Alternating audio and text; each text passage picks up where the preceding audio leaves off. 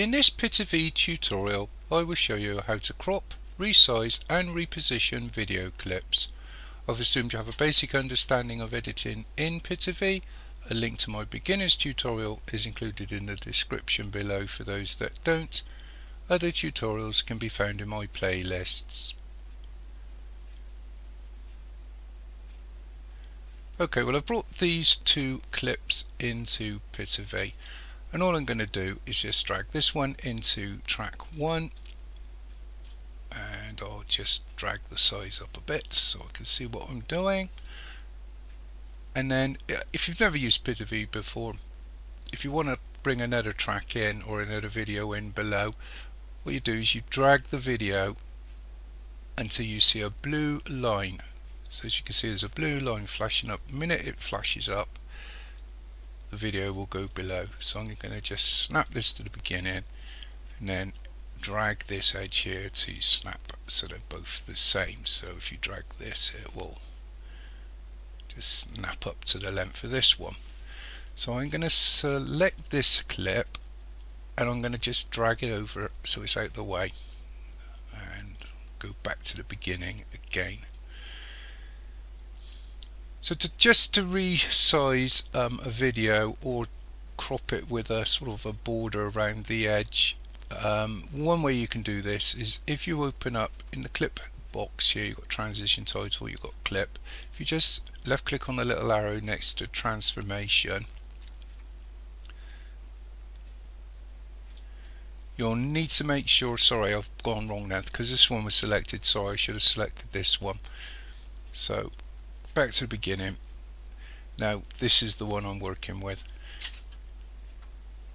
Now you can change the sizes here. You can muck around with the width if you want. So if you wanted to squash this video up you could change the uh, width by reducing it. But all I'm going to do for this uh, tutorial is you can change things with these dots here. So these will actually change the shape if you like. But if you go to the corner and then make sure you, the arrow flashes up not the uh, pointer. Hold down your left mouse button. You can actually do a crop like this and then reposition by holding down your left mouse button. But in this instance I'm going to actually go in the other direction.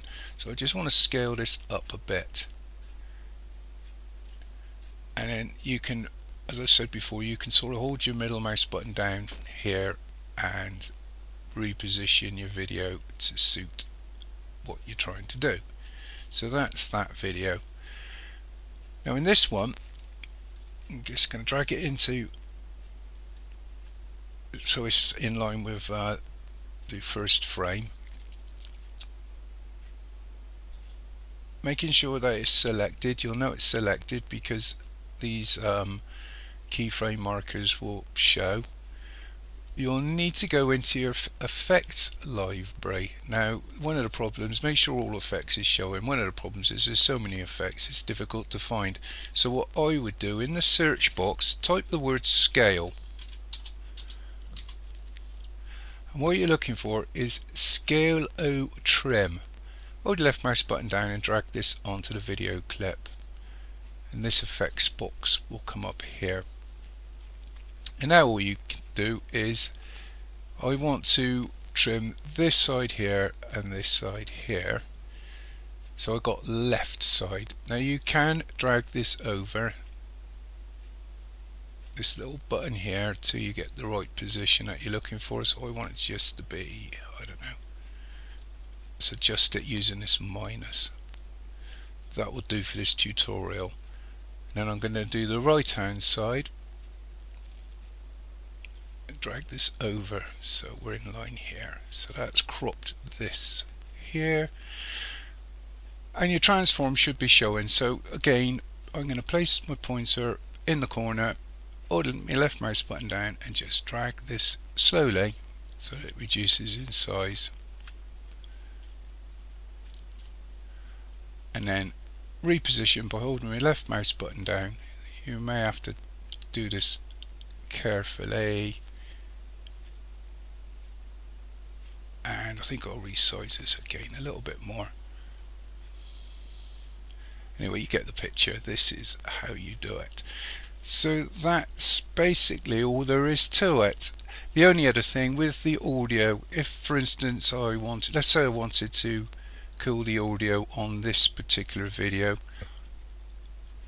making sure that you identify the audio track. If you hold your pointer over, this is where you sort of set up keyframes and adjust the audio, but if you roughly around the middle, you can just drag the audio down to zero or increase it if you want. And again you could do the same for this one. Um, and that's basically all there is to it. You will find that it does flick through the frames when you're trying to muck around here. Um, that's it really won't go into rendering like I said at the beginning. Um, I've assumed you got some knowledge. Uh, so thank you for watching. Cheers